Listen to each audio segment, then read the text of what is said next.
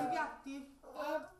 Abolito il sale negli asili nido milanesi, i bambini non mangiano più. Il caso è scoppiato a pochi giorni dall'entrata in vigore del menù estivo che prevede piatti meno saporiti. Per capire quello che è successo bisogna fare riferimento alla decisione di Milano Ristorazione, la partecipata del comune che gestisce le mense dei nido, di accogliere una direttiva dell'Agenzia di tutela della salute della città. Direttiva che elimina dalla cucina delle mense degli asilo il sale aggiunto così da abituare i piccoli fino ai tre anni al gusto naturale degli alimenti.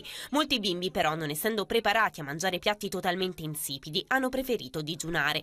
I genitori contestano la comunicazione tardiva dei cambiamenti in tavola. Ma io, mamma, avrei, ci, ci avrei riflettuto un attimo, avrei provato già magari a fare le pappe a casa senza sale.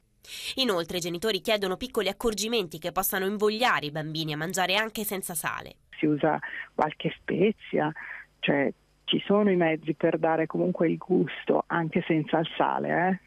Il dottor Giuseppe Morino, aderente a un tavolo tecnico del Ministero della Salute per rivedere le linee di indirizzo per la ristorazione scolastica, spiega che l'eliminazione del sale aggiunto è una scelta di tipo salutare, ma che esistono dei modi per aiutare il bambino ad accettare il cambiamento.